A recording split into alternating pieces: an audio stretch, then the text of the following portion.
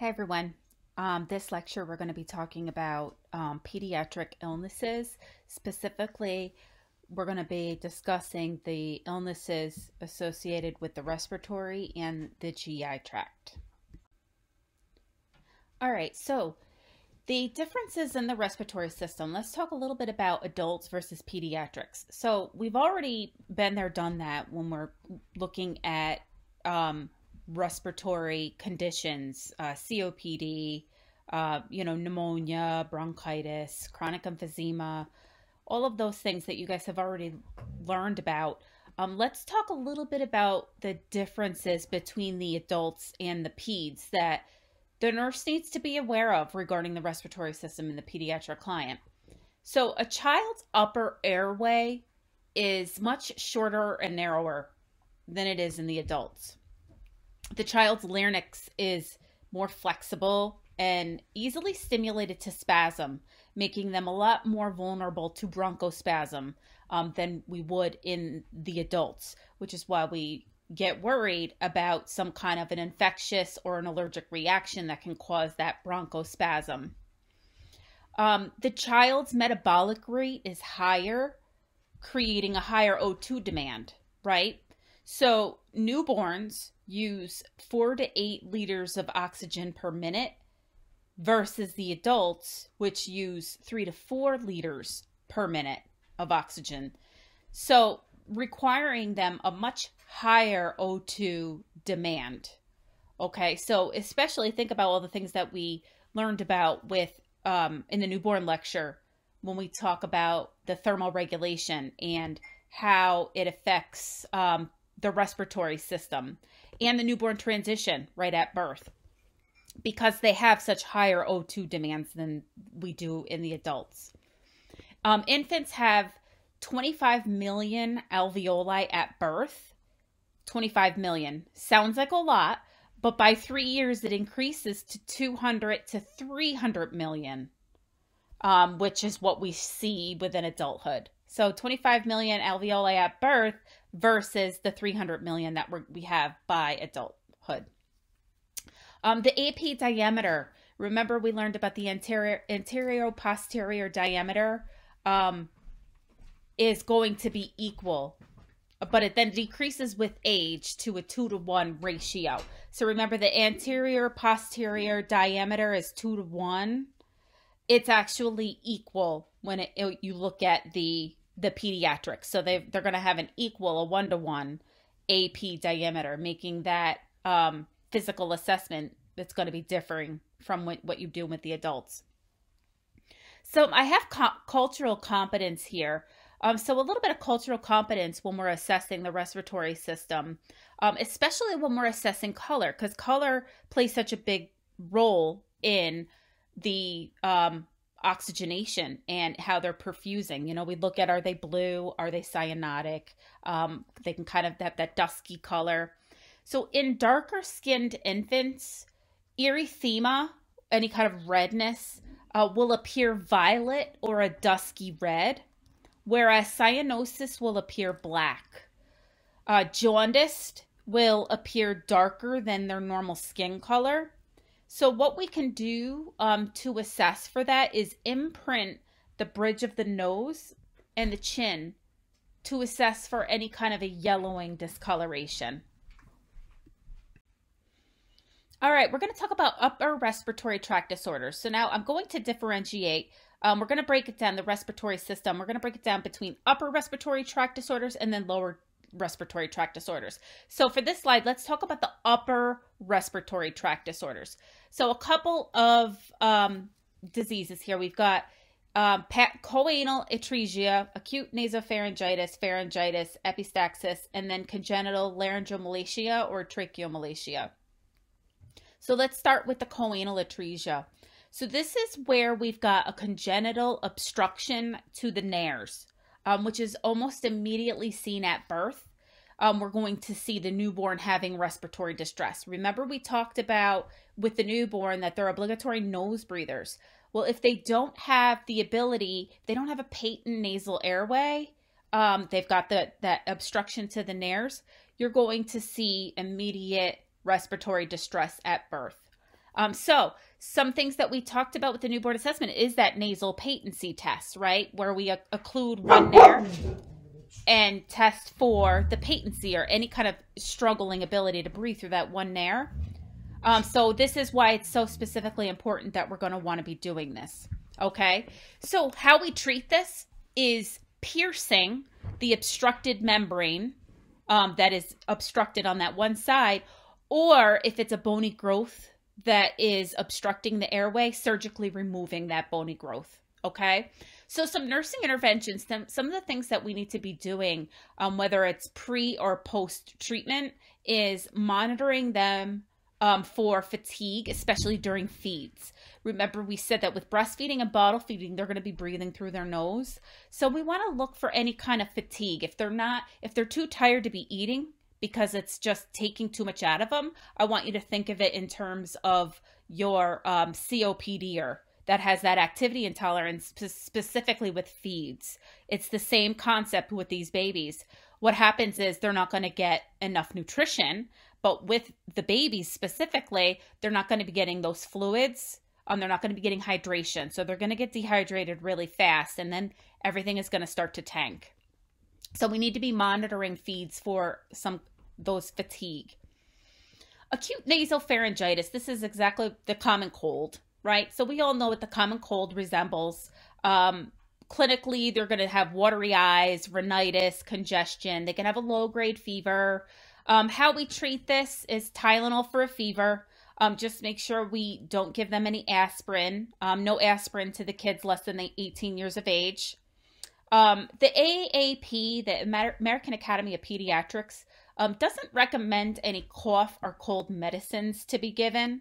Um, so it's not within the recommendations. You know, you see a lot of that with um, over the counter. You just want to tell parents um, to be cautious when using that because it isn't suggested right now from the AAP. It's not within guidelines.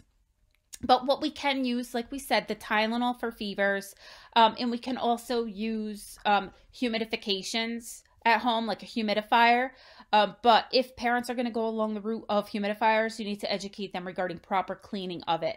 Um, some they tend to forget how um, how to clean it or that the fact that it needs to be clean, and then we're just adding more insult to the injury there with um, harboring bacteria and then spreading it within the environment.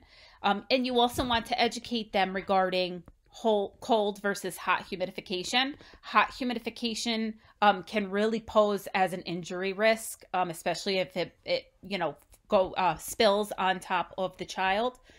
Um, so with that, you just really want to emphasize that. All right, pharyngitis. Um, this is where you've got infection and inflammation of the throat. This can either be viral or bacterial. So let's talk about the viral pharyngitis clinically, what you see with viral pharyngitis is they're going to have a sore red throat. Um, they're going to have rhinorrhea, right? So that runny nose. Bacterial, it's going to be your strep, right? So we're going to do a swab and we're going to find the strep organism. Um, the the bacterial is more severe and they present kind of suddenly compared to viral, which is kind of brought on gradually. Um, so with your bacterial, such as strep, you're going to have more severe symptoms and they're going to be sick like within a snap. Like overnight, they're going to wake up with the high fever, sore throat, um, stomach ache, and they can have bright red tonsils with the strep. They can also present with some petechiae on the palate, so those little pinpoint, uh, purple, uh, almost like purplish pinpoints um, on the the palate and they can have a sandpaper like rash. Um, so it can be on their hands, um, on their feet, um, on their cheeks. They can have the sandpaper like rash as well as the fever. And like I said, the stomach ache too. Um, so we, how, how we diagnose this is the rapid antigen strep test. So the swab and how we're going to treat it once we've ruled out that it is bacterial, um, antibiotics and supportive treatment. So when I say supportive treatment, I mean your um, nose spray, Tylenol, um, you know, uh, warm, cool compresses for the fever. Um, we want to emphasize and really stress the importance of education when it comes with parents with bacterial. If it's left untreated, this can lead to rheumatic fever, and glomerulonephritis. Okay, so rheumatic fever and glomerulonephritis is what the complication resulting from the strep virus um, can have. So we want to be sure that if it is bacterial, that we need to be getting them dosed with antibiotics and they need to be finishing the course of treatment with that. This isn't something that we want to just let the immune system ride out. Okay. Um, think about the complications um, left untreated. Retropharyngeal abscess. Um, this is where they've got a, an abscess that is going to drain into their nasal pharynx. Okay, so this abscess um, with draining causes them to have a high fever, causes them to not want to eat, um, and what we see is drooling, drooling of the mouth because they can't swallow past the obstruction. Um, so they have drooling of secretions and also a snoring sound with respirations. So with their breathing, they're going to have like a snoring sound while they're awake. Okay. So treatment for this is also going to be IV antibiotics, IV. Notice I said the IV. So we want to admit them, um, get on board some IV antibiotics as well as some IV fluids for hydration. And we want to be monitoring their respiratory status with this. Epistaxis, I think we all know what a nosebleed is, right? Um, whether it's for whatever reason that they're getting the nosebleed, um, we want to keep them in an upright position with their head, head tilted slightly forward, not back. Okay, so one of the common misconceptions is, and you see it in movies all the time, where they go back like that. We don't want them to go back like that because we don't want it to drain into the lungs. So we want them to be in an upright position with the head tilted slightly forward and apply pressure for about 10 minutes. Okay. Um, congenital laryngomalacia. So, what this is, um, the infant's larynx structure is weaker and the tissue cartilage is kind of like soft and floppy, um, collapsing in and on itself, which then is obstructing through the upper airway. So when what you see with these kids that have a laryngomalacia uh, is they have that in, inspiratory stridor. So this is really where you're going to hear that stridery sound, not to be confused with croup, which we're going to be talking about in a little bit. Um, but they have a significant sound to them with this um, laryngomalacia is called like a crowing sound with respirations. So with breathing, breathing, they have this stridery crowing sound with respirations. And um, because it's congenital, you know, and it has to do with the structure of the cartilage, they usually will outgrow this by two years. Okay. So we want to just be teaching the parents, um, teaching them to um, monitor for the respiratory sy- symptoms, um, as well as the same with the choanal atresia, monitoring their feeds. Okay. Monitoring their feeds for any fatigue. So small, frequent feeds to help prevent the fatigue, to make sure that they're meeting their caloric requirements and they're not getting too respiratory distressed. Okay, so I was just talking about the laryngomalacia and having a kind of a significant sound like the crowing sound or the stridor heard on respirations. Um, now we're going to talk about croup, laryngotracheobronchitis, which is literally what it says in the name inflammation of the larynx, the trachea, and the major bronchi. So remember, with the respiratory system, you've got your your major bronchi or bronchus, as well as that kind of stems and feeds into the bronchioles, which is the smaller airways. With croup, this is inflammation of all of those airways there the larynx, the trachea, and the major bronchi. This usually occurs um, with kids that are about six months of age to, to about three years of age, give or take a little bit. Some kids that may have um, repeated episodes of croup in their younger years, they may not grow out of it right away at three years of age. It may extend into kind of the elementary years. Um, but what this is caused by is most commonly a viral infection, most commonly caused by the H influenza um, which we all know what the influenza is. However, we've seen a drastic decline in croup with kids since we started administering the flu vaccines.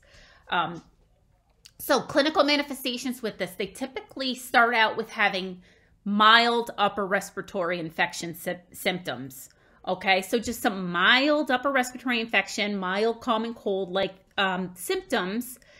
And then upon going to bed, the child um, the child will go to bed having a normal to a mildly elevated temperature. So they may have a normal or maybe kind of a, a, low grade fever on going to bed. And then suddenly they wake up in the middle of the night with this significant classic croupy cough, also known as the barking cough. Um, so they sound like little seals. I know the other one I said they sound like crows. These actually they sound like seals. It's a a barking cough. It's that inspiratory stridor that's coupled with marked substernal retractions. Okay, we don't really see substernal retractions with the other one, but with these kids, upon inspiratory um, stridor, you'll hear the stridor, which is audible without a stethoscope, and you'll also see the substernal right in the middle of their chest retractions, which they kind of wake up to this extreme respiratory distress. And it can be extremely significantly terrifying to the parents. So, a lot of education is going to be involved with this. Um, so, some therapeutic management, a lot of it is going to be education. Um, what we can do is parents can run a warm mist shower um, with the steam. So, literally sit in a nice, hot, steamy, steamy room um, and then keep the child in a warm environment when they're having a spasm like that. Um, if this doesn't relieve the symptoms or if the symptoms worsen, um, then we can we want to tell them to bring the child to the ER. So another thing that we can do too, and I know it sounds completely contradictory, but if a warm steamy shower doesn't work, another thing that we can do is the complete opposite, try the cold. So if it's during the winter months, which we see a higher prevalence of croup within these kids within the, the winter months because of the viral infections. Like we said, it's usually caused by the influenza, but it can be caused by other viral infections as well that kind of causes their upper airway to kind of go into distress. What we can do is bring them outside in the middle of the night in the extreme cold temperatures.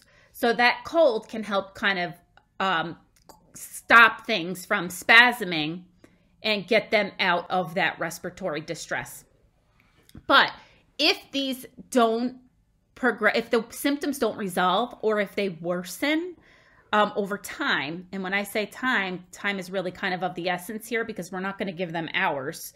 Um, we want to see how long it takes for them to come out of these symptoms. Then we're going to want to bring them to the ER for treatment. Um, so we want to when when they come to the ER, um, we want to plan to administer a cool mist air nebulizer that has the combination of corticosteroid um, in it or a racemic epinephrine in it to help reduce the inflammation and produce that bronchodilation to help open up that airway.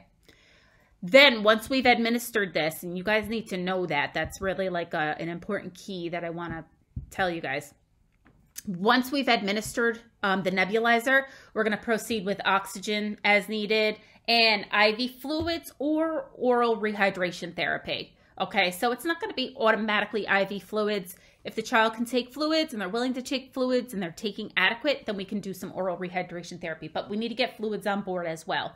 Then, what we're going to do to monitor is we're going to assess the respiratory system, O2 sats, vital signs, and strict I's and O's with these guys. All right, epiglottitis. This is one of the most serious of the upper respiratory tract, disorders.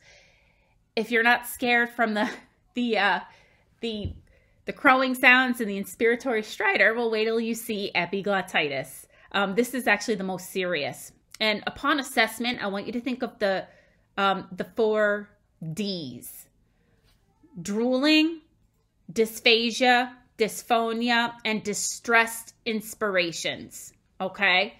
So you're going to see, think about the four D's on assessment with this. Um, the child's going to be drooling, dysphagia, they're going to have difficulty um, swallowing. Um, dysphonia, they're going to have difficulty speaking. They may sound a little funny. And distressed inspirations. Okay. So specifically with that stridor. Okay. So anytime you see this, those four D's, as well as with infants is sitting in kind of a tripod position. Um, you know, the tripod position that we think of with our COPDers when they put their elbows on the bedside table, and this helps to kind of expand their lungs. You're going to see the same with the infants um, sitting on their butt with their two hands, kind of like with their tongue out and drooling. Um, anytime you see that, you want to be alarmed. Um, one of the last things we want to do is attempt to visualize the epiglottitis. Okay. So, a common thing that a parent might want to do is say, Oh, open up. Let me see inside your mouth, especially those nurse parents, right? But what you need to know if you ever suspect an epiglottitis, or if you know you work in the PEDS or you work in a pediatrics office and you're educating about this, do not attempt to visualize the epiglot- epiglottis with a tongue depressor or obtain a throat culture do not obtain a throat culture. Don't be um, proactive in getting a culture if you ever suspect the epiglottitis. Okay. Don't do that unless you have a trach or an ET tube, um, ET setup nearby. All right, because this can cause what we what they have is a severe obstruction to a complete obstruction here. Okay, um, so what you want to do, some therapeutic management within this while we're waiting to for the child to be seen here. Keep the child the child calm. Um, prevent them from crying. Get an IV initiated and monitor their respiratory status. I don't have anything really on this slide to talk about other than I just wanted to show you that in your Pillitteri, um, table 45, 40.5, has the comparison between the croup and epiglottitis because they can kind of uh, resemble each other and they're two very different treatment regimens. Um, so I like the contrasting information, the comparison and the contrast between the croup and the epiglottitis. So I do want you to just kind of read through that. All right, now we're going to move on to the lower respiratory tract disorders. Um, here we're going to talk um, on this slide about BPD, um, bronchopulmonary dysplasia, um, a little bit of cystic fibrosis, bronchitis, bronchiolitis, and asthma. So let's start with our BPD, bronchopulmonary dysplasia. Um, this is a, a, chronic respiratory disorder that's often seen in preemies. So those of you guys that already work in NICU um, or are interested in, in working in NICU when you graduate, you're going to want to become familiar with um, this disorder um, because it's chronically seen specifically within our preemie population.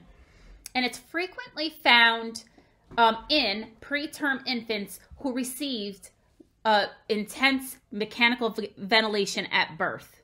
And it's thought to occur from a combination of surfactant deficiency and O2 toxicity. So think about it when babies are born prematurely, they lack that surfactant, right? We want that LS ratio to be two to one. They don't have that. So they're born with that surfactant deficiency, which is making it difficult for them to breathe. So what do we do?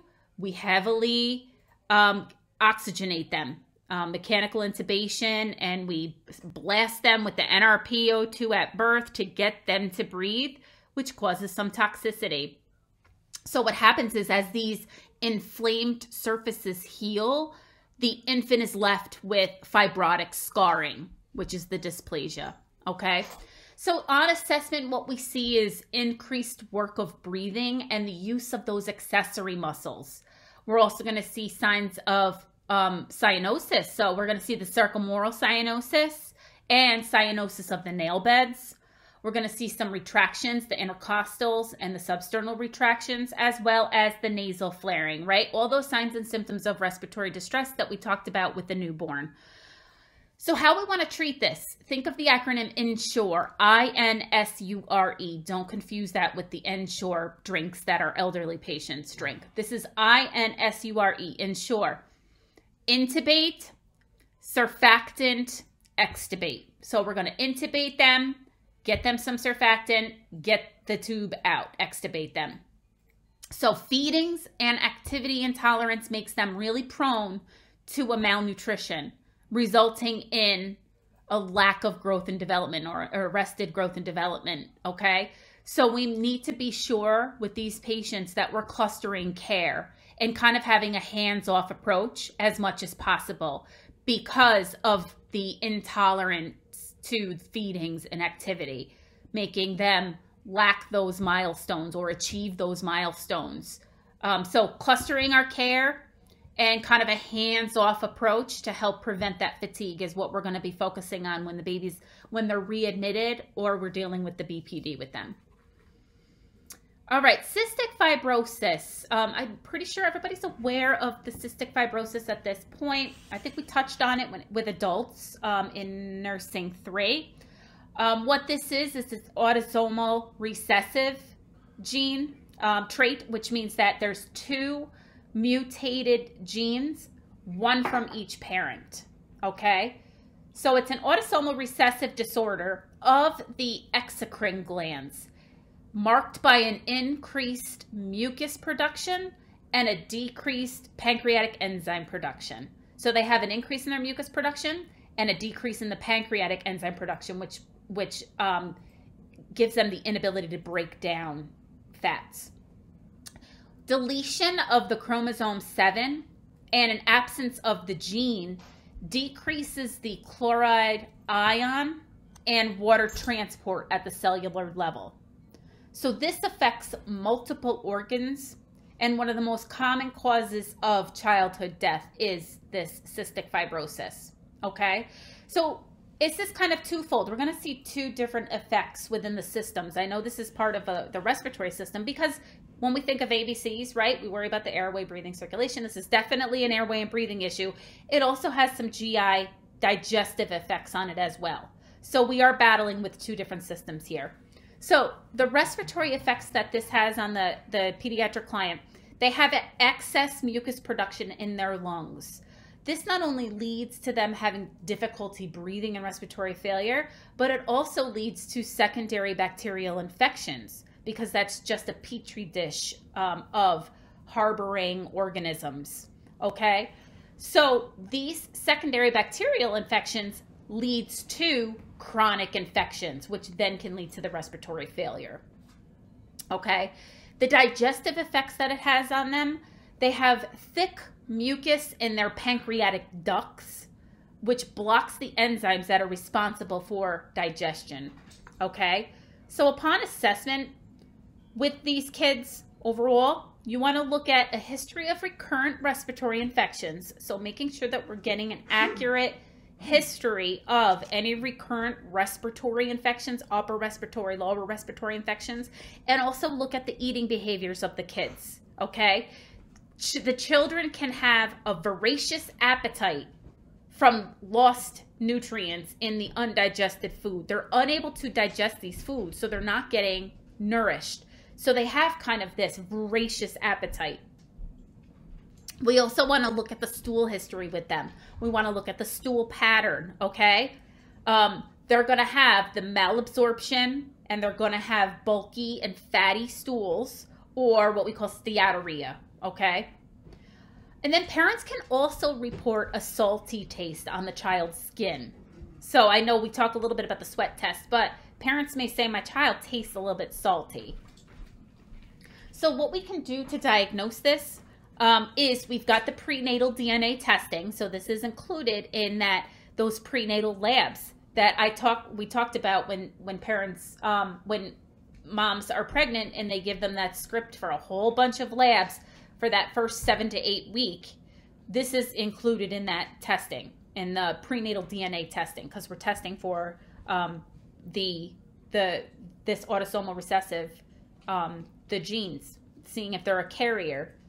Um, but also, we do the newborn screening and we look at their clinical symptoms. So, the newborn screening, remember I talked about the PKU testing, um, where we test the phenylalanine and the lack of the enzyme there that's needed to break down the phenylalanine. And then we also test for the um, congenital or newborn screening. This is part of it as well. Um, but then we look at the clinical symptoms also. So we look at the recurrent upper respiratory infections and we look at the stool pattern or their appetite. Okay. We can also do what's called the sweat chloride test, um, where they test for the chloride levels within their sweat. And what we're going to see is about two to five times normal um, level of sodium and chloride that's found in their sweat, two to five times higher than the normal level of sodium and chloride found in their sweat. Also, we're going to do some PFTs, pulmonary function tests, and minimally get a minimally invasive chest x-ray, okay? what we're going to do for therapeutic management, um, respiratory, the aerosolized inhalers, which is going to help promote airway clearance. And also, we can administer the Dornase alfa, um, which is a genetically engineered pulmonary enzyme, which is going to be um, given to help thin the mucus and also improve the lung function. What we can give them digestively as therapeutic management fat soluble vitamin supplementation. So we want to put them on some fat soluble vitamins. Um, we want to increase the protein in their diet and give them high calorie foods, high calorie healthy foods. Okay, and we want to make sure that we administer the pancreatic enzymes. Remember, they they those pancreatic enzyme ducts are blocked. So this is effective only for about 45 to 60 minutes after mm-hmm. administration. Okay, so you these must be given at the start of a meal or snack to help promote the digestion and absorb those vitamins. All right, so we have a small window of opportunity to administer um, these pancreatic enzymes, which is only going to be effective for about 45 to 60 minutes after administration. So you need to be sure that we're giving those timely at the time of eating at the meals or a snack as well. Okay to help promote digestion and absorb those vitamins. So, some nursing interventions with cystic fibrosis we want to maintain a patent airway, good pulmonary hygiene, right? So, another what, what I call pulmonary toileting, coughing, deep breathing, incentive spirometer, um, get them moving around, and the chest percussion, right? Chest PT, postural drainage, vibration, percussion, um, respiratory therapy is going to be our best friends um, when we when we're taking care of the CF patients. Okay, um, oscillating vest. So we may be putting the oscillating vest on the children. Antihistamines are actually contraindicated. You would think we want to administer antihistamines to help dry up that mucus secretion, but the problem is it's not that they're it's not that we want to dry it up. It's the problem is they can't expectorate it, right? They can't expel it. Um, so antihistamines are contraindicated because they have a drying effect, making it difficult to expectorate the mucus. We want to get rid of the mucus with these kids. Okay, drying it up is not going to help them. Bronchitis, bronchiolitis, this is acute inflammation causing wheezing, most often triggered by either a virus or a bacteria could be specifically like the RSV, which is now, I can say this spring, more prevalent than it was last spring, right? We're seeing a high prevalence of the RSV. So this is acute inflammation um, causing wheezing, most often triggered by a virus or bacteria, more commonly the RSV, also adenovirus, and influenza. So the bacteria, um, the RSV, adenovirus, and the influenza um, causes the bronchiolitis, inflammation in the small, the bronchioles, as well as the major bronchi. So, how we treat this is supportive care. We treat the symptoms, right? Give them some IV fluids, oxygen, um, administer an antiviral for RSV, such as poliziv- polivizumab, um, and monoclonal antibodies that are used for the prophylactic RSV in preemies. Okay, so this is something that's given, these injections are given monthly for five months. So insurances are, they approve this, um, this antiviral, the Pilivizumab. I can never say that ever, not even on screen recording. So we want to be, it, we want to be administering this, the injections times um, for five months. Okay, and it's given prophylactically, especially in the preemie population, um, for the RSV in these preemie babies because they're so at risk for um, developing the bronchitis and the bronchiolitis later on and down the road. Asthma. So we all know asthma. All right, we know about asthma with adults. This is a chronic obstructive inflammatory disorder caused by the hyperresponsiveness of the airways, right? Um, primarily the smaller airways um, with our, our kids here uh, also caused by airway edema, narrowing, and also mucus production. Um, asthma triggers are the same as adults, right?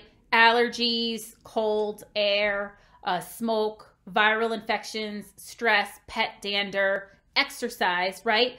But we see a high prevalence of asthma in food allergic children. Okay, so eggs and tree nuts are our most common allergies that cause the asthma um, within our peds kids. So what we see with with um, on assessment with asthma, these these kids, the infants, um, are head bobbers. So their infants' heads may bob when they're in respiratory distress. Remember, I said they have a very short airway. They don't have necks. Little babies, they, they don't have any necks, right? Your newborns don't have any necks. So how you know that they're in respiratory distress is they have this like little head bobbing. So you're going to be looking for that, especially if you're working on a PEDS unit or PICU. Um, and we're also looking for the status asthmaticus, right? Which is when they fail to respond to the first line therapy. Um, so how we want to treat them is with quick relief SABAs, the SABAs, corticosteroids, and anticholinergic. Okay. Um, long-term control is the ICSs, the intermediate, and then the long-acting betas. Okay. We also can give them the leukotriene modifiers and the mast cell inhibitors, especially for your allergic reactions that trigger the um, status asthmaticus. So, what we want to do when it comes to asthma is a lot of education, right? A ton of education. If you guys remember back when I did my growth and development lecture, and for the school age child, the, the we saw a video of the nurse teaching the child how to use the inhaler. And another one too, they were teaching the child how to use the nebulizer. A lot of this is education. Um, so we want to make sure that we're educating on the correct use of the MDIs and the aero chambers. Okay, proper use. If they're not using it correctly, we can just toss it out the window. It's a waste of everyone's time and it's a waste of resources, and you're not treating the problem.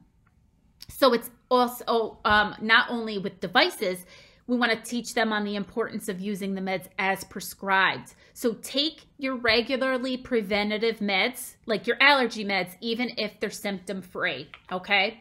And we want them to avoid using the overuse of the SABAs, which are the quick relief short acting betas, right?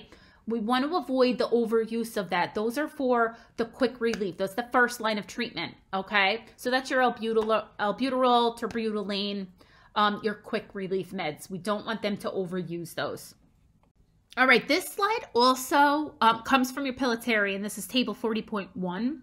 This has a little um, comparison of bronchiolitis, pneumonia, and asthma um, because it can kind of all resemble a little bit of the, you know, disorders of the lower respiratory tract. So it's good to take a look at um, this slide in comparing the bronchiolitis, um, which you may see kids, you know, admitted onto the D7, C7 unit with a bronchiolitis. We see a lot of that versus pneumonia versus asthma. So go ahead and read through this chart. Make sure you guys pay attention to this chart. All right, so now that we have a good understanding of pathophysiology of all the different upper and lower respiratory tract disorders, now let's apply the nursing process to said nursing uh, respiratory disorder. So ADPI, right? Assessment, diagnosis, outcome, implementation, evaluation. We already talked about the assessment, right? We talked about what we're going to assess for, how the patients are going to present with each upper and lower respiratory tract. So we want to be assessing for significant and correlating manifestations. Know what to look for when we're suspecting a certain disorder, okay? We need to be sure that we're auscultating and visualizing that chest. So it's not enough just to listen. We need to be putting eyes on it as well. We're looking for the seesaw breathing. We're looking for substernal intercostal retractions. We're looking at any nasal flaring, right? We're looking at their work of breathing. Are they using any accessory muscles? Um, we're looking at the color of the skin and the membranes, right? The mucous membranes, the skin. Um, we're going to be measuring that chest circumference, um, the chest diameter. We're looking at the AP diameter. Um, we're also looking at the diagnostic tests. So think about all the diagnostic tests that correlate with each of the diseases and disorders. So ABGs, chest x-rays, um, CT scans, ultrasounds, right? Bronchoscopy, that's going to be a possible diagnostic test that you're prepping them for. Um, remember our nasal and our throat swabs have those ready for when we need them, when we need to get them drawn. Know when you shouldn't be taking throat swabs, right? Sputum cultures, right? Goes it's the same same thing as it is with the adults, making sure that we're getting that sputum culture, um, as well as looking at their O2 sets, Okay, and then once we do that, um, well, we'll talk a little bit more on the next slide. So I know I kind of already um, talked about this on the last slide. On physical assessment, we're looking at their cough. Remember cough, and remember we taught this to you guys in nursing two, and I know this because I used to teach it in nursing three, and we moved it to two. One of the first symptoms of respiratory disease in adults is that cough. So it's so important. You know, we have it in the critical criteria of assessing for the presence of a cough. It's the same with the kids. You know, it, it may not with the kids, it's going to be a little bit more obvious. Um, you know, they're they're not going to be able to kind of suppress that reflex like we we can as adults, which is why as when we're taking care of adults, we really want to fish that information out of them. Um, whereas with the kids, they come in, they're hacking and coughing everywhere, right? Um, but you want to really look at the proximal coughing. Okay, so coughing, it, it, are they having it more nocturnally? Is it more so at night? or during the day? Does it get worse with activity? Um, or is it kind of constant? What triggers it? And then we also want to look at everything else the rate, the depth of the respirations, right? We want to get an accurate respiratory rate, especially when we're looking at the respiratory distress, and especially when we're looking at our neonates and our newborns. We look at the retractions. We also look at the restlessness, okay? So, like I I say all the time in the newborn nursery, the baby can't raise their hand and say, you know what, I'm having a little bit difficulty breathing over here. I think I might be dropping my O2 sats. No, they get restless. You see, when you see that little burrito moving around like thrashing, you know they're unable to breathe, whether they have an occluded airway because of mucus or vomit, or they're having respiratory distress. They're going to be restless. Um, you're going to see the cyanosis. Within your chronicers, like your preemies, you may see the clubbing of the fingers. We look at the chest diameter. We talked all about this already, um, as well as the labs and the diagnostics.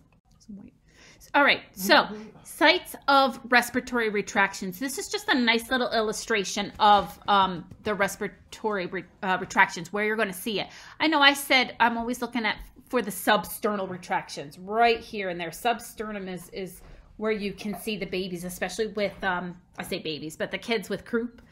You're going to see it right there, as well as those newborns when they're starting their little pathway towards respiratory distress. Um, most commonly, we're going to see these substernal retractions. But also, another um, site of the respiratory retractions is we can see it suprasternal right up here, suprasternal, the supraclavicular near the clavicle, um, and then your subcostal or intercostal spaces here. All right, so now the, let's talk about the nursing diagnosis. I know we're, we're, making our way through this nursing process. So what would be some applicable nursing diagnoses for the kids that have these respiratory illnesses um, or disorders? Activity intolerance. We heard a lot about that, right? Um, so having an activity intolerance, what can we do for them? Short, frequent feeds, cluster care, right? Um, all of your basic concepts. Um, fatigue. So allow for breaks. Allow for them um, to have the breaks when they do feel fatigued. Um, fear, you know, fear is real to kids like it is real to adults. So it can be very scary when they have these bouts of croup or these bouts, if they went through an epiglottitis episode, it can be very traumatic to them but acknowledge that fear. So offer self. Think about all the therapeutic techniques we can do. Therapeutic communication is going to go a long way with not only the patient but the family, um, allowing them to verbalize their feelings and to express their fear. Okay, and think back on all the time. Um, think back on our growth and development lecture when I talked about therapeutic play. Um, that was another way for them to express their fears if they can't express it in terms, in vocabulary, we can give them um, other means, other tools to help express that. Obviously, the impaired gas exchange, right? Um, monitor for O2 stats, do our respiratory assessments, monitor for that gas exchange. Impaired social interaction. So, if the child is on, um, if they're on trend, um, if they're on social isolation precautions, um, whether it's droplet, um, airborne, or even contact, um, you know, they're going to have an impaired social interaction. But also if they're hospitalized, frequent hospitalizations, right? Depending on the age of the pediatric client, they're having an impaired social interaction by being hospitalized. So, this is really where our child life specialist is going to become our best friend um, when we're thinking in terms of those, that growth and development and that psychosocial or socialization aspect. Uh, impaired breathing, ineffective breathing pattern, right? This is another obvious one, as well as the impaired gas exchange. And then deficient knowledge. Deficient knowledge applies to everything, everything, including our diagnoses for respiratory. So, what do we do for this? Teach, teach, teach, teach, teach. All right. QSEN. Y'all heard of QSEN before. I know this because I we talked about this in my nursing 3 lectures. So it's the framework, quality and safety education for nurses. So what are some QSEN, QSEN initiatives um, for dealing for a client with respiratory illnesses, right? Patient-centered care. We're gonna we should be providing patient-centered care for everybody, right? That we we develop the plan of care based around the patient, not around the disease, not around the disorder, okay? So making sure that we have an individualized patient's care plan and meeting the needs of not only that patient, which is our pediatric patient, but the family also, right? Because it can be like a fam it's a family unit teamwork and collaboration think about all the resources at our fingertips and who we're going to be we're going to need to collaborate with on some of these disorders caring for these patients with the disorders. So respiratory therapy right? Pulmonology um, child life specialist um, evidence-based practice. This is making sure that we're using our current guidelines making sure that we're staying up to date and we've got utilizing current practice which is ever changing ever so fast um, so making sure that we're utilizing our um, current guidelines when dealing with these respiratory illnesses and the hospitalization. Quality improvement. This is our preventing and tracking errors. Okay. And then safety and informatics, I think, is pretty um, self explanatory. All right. Lastly, well, two more two more slides when it comes to respiratory. I just want to talk a little bit about therapeutic techniques when it comes to dealing with um, the kids that have these respiratory disorders and illnesses. Um, so, therapy to improve oxygenation, obviously, that is our main goal, that's our main focus. So, oxygen administration, knowing pharmacological therapy. Um, you know, if you've had me in clinical, you know me, you know I always base all of my interventions and my um, my implications. I always base it on non-pharm and pharm right? This is definitely where you want to be thinking about what is our pharmacological therapy, our pharmacological treatment. So our meter dose inhalers, right? Um, the SABAs, the LABAs, um, when we're looking at the allergies, um, knowing the digestive drugs, the pancreatic enzymes for cystic fibrosis, um, knowing what aerosolized um, humidification that we give for, um, you know, the kids with croup, with bronchodysplasia, um, and as well as non pharmacologic. Um, so, O2 administration, incentive spirometer, um, coughing and deep breathing, pulmonary um, incentive spirometer, I'm sorry, um, chest PT, chest percussion, using the oscillating vest, especially for your um, cystic fibrosis kids, right? But they also re- may require tracheostomy. Okay, so you may be caring for a kid that has a tracheostomy or that required a tracheostomy because of this um, illness or disorder. Okay, so making sure that we're suctioning um, according to current practice. Um, they may need ventilation for some of your kids that are in the PICU and the NICU. So assisted ventilation, being able to monitor that, and they may be a, a candidate for a lung transplant, lung transplantation, especially with your cystic fibrosis kids. Okay. So just making sure that we know what are some of these therapeutic techniques. Um, hum- humidified O2, right? Chest physiotherapy, um, the mucus clearing devices, coughing, inhalation devices. Um, this is a, a pretty good slide that summarizes the therapeutic techniques with the kid with respiratory disorders. And really quick on this slide, I talked a little bit about bronchial drainage, um, especially with your cystic fibrosis kids um, you know, the goal for them isn't it's we can't we shouldn't be given the antihistamines. The goal for them is expectorate remove the mucus. We want to be removing the mucus to help clear those airways. So what we do is postural drainage postural um, bronchial drainage. We need to put the kids in this position Okay, so this is also right out of your textbook. I don't know the table, um, but these are just some pictures of positions that are suggested for bronchial drainage. Once we do the chest PT or the oscillating vest, or um, they have the little devices that are like little suctions um, for percussion, then we want to help drain, right? We mobilize all those fluids and mucus. Now it's got to come, we, we turn them so that it drains out. All right, so here's your NCLEX question. When assessing a child for cyanosis, which is important for the nurse to remember? A, cyanosis is an early indicator of respiratory distress. B, the degree of cyanosis is not an accurate indicator of the, de- the degree of hypoxia. C, cyanosis is caused by a decrease in the depth of respirations. Or D, um, cyanosis will be present if the child has a large loss of blood volume. The correct answer, if I had my poll everywhere, everybody would be getting this right. And the correct answer is going to be B right? The degree of cyanosis is not an accurate indicator of the degree of hypoxia.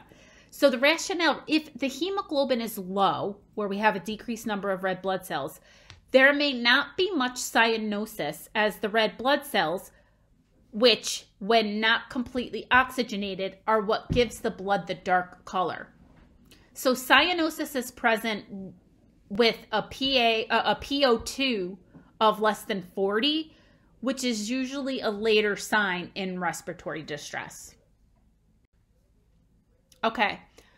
Which is the primary nursing responsibility when a four year old child with a tracheostomy tube eats? All right. Primary nursing responsibility for a four year old with a trach tube. A. Prevent aspiration of food or fluids into the tube. B. Limit ingestion of too much fluid. C. Foster smooth passage of foods through the tube opening. Or D. Prevent dyspnea from eating too rapidly. The correct answer is going to be A. Prevent aspiration of foods or fluids into the tube, right? Because preschoolers, uh, your four year old, are not necessarily meat eaters. We, as the nurse, are going to want to be protecting that tube from any food or fluids entering it, which can cause aspiration. All right, last question. A child is to use an incentive spirometer four times daily. Which statement suggests that the child understands the purpose and correct technique of the procedure? A, to do this right, I will take in a very deep breath. B, using this will help me cough less. C, the harder I blow out, the better I am doing. Or D, this will make more room for my heart in my chest. So the correct answer is going to be A. To do this right, I will take in a very deep breath. Um, the purpose of the incentive spirometer, which you all know this by now because it's been two years since we've been beating this into your head, is to make the patient or the child take a deep breath to aerate the lungs better. We want to inspiration.